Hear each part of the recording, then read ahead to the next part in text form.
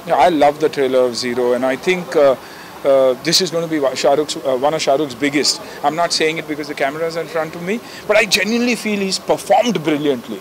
जो एटीट्यूड उसका है you know even because of his size वो कॉम्प्लेक्स के साथ जब किसी को एक एटीट्यूड आती है वो वो न्यूआंसेस वो कैरेक्टर के कैप्चर किए I think this is S R के is biggest and I I pray to God that it is is biggest Because you know it's also very unfortunate. Like I have a whole lot of friends who've gone and seen the thugs.